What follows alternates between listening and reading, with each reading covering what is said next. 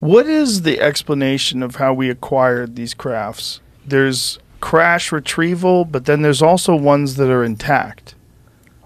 Remember, Lazar said that uh, nearly all of the ones that he saw, except for one that had a big hole in the middle of it, all looked intact. It was as if they were dug up at archaeological sites or there were gifts, like throwing a, a cell phone into a chimpanzee cage. Here you go, crazy humans, knock yourself out. Let's see how you do with this.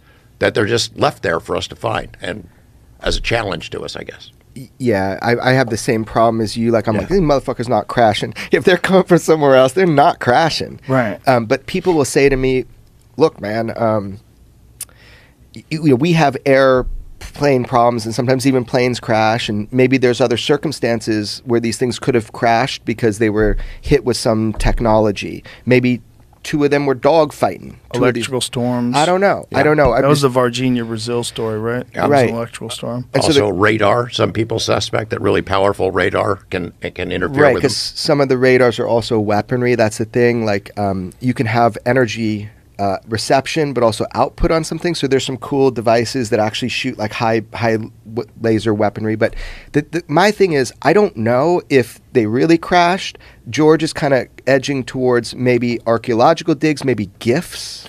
The, Lazar said that one of them supposedly was from an archaeological dig, right? Yeah. Do yeah. they know where? Not that I know of. He Does was, he know? No, he was just literally, that's one of the many things that they tried to impose upon him. But remember, they tried to impose a lot of shit on Lazar. He is so succinct with, this is what I know to be real. I had hands on this. Now, they told him a whole bunch of crazy shit. You like know what? Dude, just the cra- like I should put that shit out. I'm just crazy. Like we I'm are, sorry. we are viewed by the aliens as containers of souls. I mean, you're not going to tell a guy working on propulsion that. So he had he had a, he, he was able to sit down for a brief time and go through a document, like a huge briefing document. In there, he saw what were, they said were was a bio, biological biopsy of an alien. Like he, he was just he didn't care. He was going to the propulsion part. Mm-hmm. But they told him so much wild stuff. He's like, this has to be a joke. But then when he, he said he differentiates, he goes, but when I you can't fake. He said what I saw. You can't fake your hands trying to get close to the reactor and not being able to touch it, you can't fake something that big lifting like that. So he says, I know for sure what I worked on was not from here. But he goes, everything else they told me, it was words on paper. And I respect mm. that about him. And maybe they wanted him to leak it to John Lear. Remember, he's like friends with this guy, John Lear, who's like already on their radar. The best photo of Area 51 from lake level ever was 1977, the year I was born. John Lear's kicking it out there, stirring up shit at Area 51, taking photos.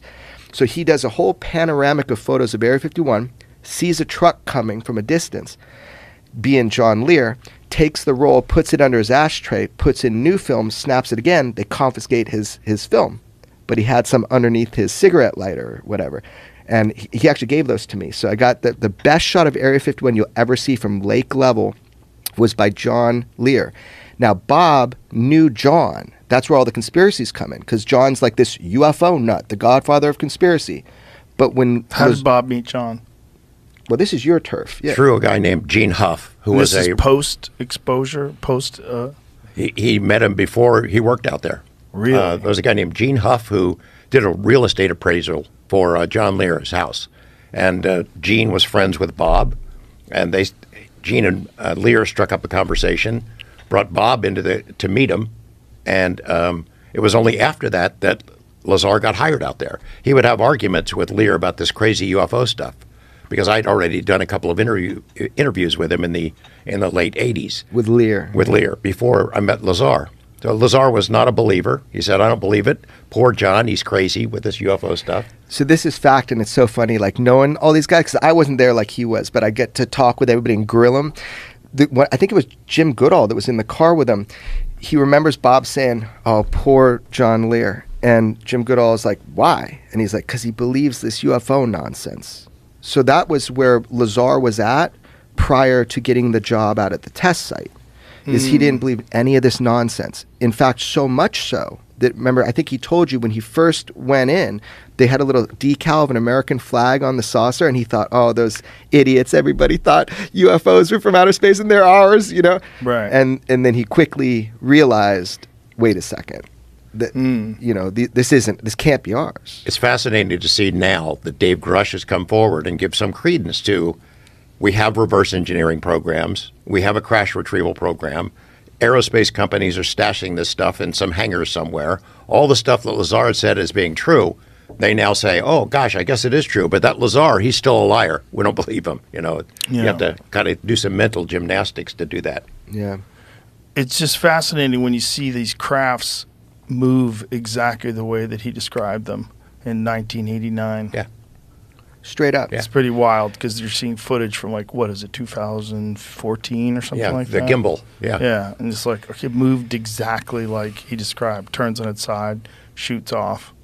So, so that's a, a common thing. Is Bob Lazar must be the luckiest con man on planet Earth to get so much shit right over all these years. What's that? What's the controlled disclosure campaign plan? It's What is this from, Jeremy? this is listed at the bottom of that document. They're talking about the the NDAA for 2024, and this is the UAP section I've been reading through. Controlled disclosure campaign with respect to unidentified anomalous phenomenon recorded uh, records originated prior to review board termination. It's this review board. I'm not sure what this is. It talks about all the like they get all of this information, and you better give it to them. Is sort of what it says. They want to set up a review board that would basically declassify stuff that they come across. Yeah, uh, but I'm being told by people involved that that's not good enough. Like this is one step, which is to get this um, presidential review board, and you get a bunch of sociologists and scientists and some Nobel Prize winners, and and you look at what can be declassified for the American public in a controlled way, and that's really nice. They're doing it, but everybody on the inside that I know is like, we need a Church style committee it's not okay to just have a disclosure panel. You need oversight. And to get that oversight, we need access. The only way that we're going to get that is by forcing sen like where's where are all the senators in all this? We did this hearing with all these Congress people. Where are all the senators listening to the public being like, "Okay, I'm going to get after that." They're the only ones with the power to create a Church style committee. Where are the senators right now? And and so that's really this language is so important. I hope people go look it up and they read it because it's just astonishing when you hear what they're actually doing. And I think it's a good step. I find this one a little weird too. The ex- uh, exercise of eminent domain. Yeah. They, they can go and take anything from Yeah. anyone who's got anything. Yeah, Yeah, basically